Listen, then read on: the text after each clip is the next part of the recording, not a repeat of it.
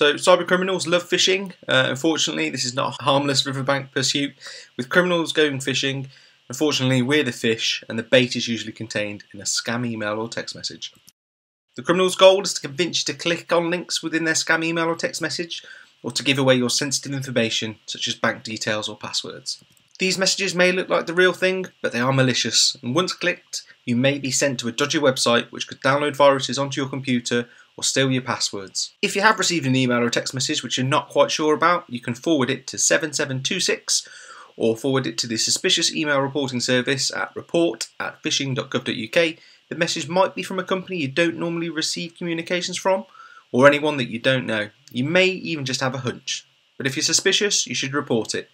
Your report of a phishing email will help us act quickly, protecting many more people from being affected. The National Cybersecurity Centre will analyse the suspect email or text message and any of the websites that it links to.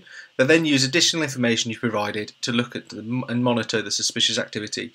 If they discover anything suspicious or malicious, then they may seek to block the address that the email comes from so that it can no longer send emails to people. They can work with hosting companies to remove links to malicious websites and with thousands of reports made since the service started, we've seen over 1,400 links to bogus sites have now been removed and taken down already. They can also raise awareness of commonly reported emails and trends through methods like social media and other partners. And whilst the NCSC is unavailable to inform you of the outcome of its review, they can confirm that they do act on every message received. And for further advice and support, please visit CyberAware.